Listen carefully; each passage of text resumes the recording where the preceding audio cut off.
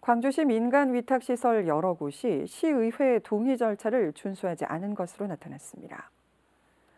광주시의회 환경복지위원장 신수정 의원에 따르면 지난 4일과 8일 열린 광주시청 복지건강국과 여성가족국 행정사무감사에서 민간 위탁시설의 시의회 동의 절차 이행 여부를 확인한 결과 광주희망원과 광주공원 노인복지관, 청소년 수련원 등 절차를 불이행한 경우가 8건이라고 밝혔습니다.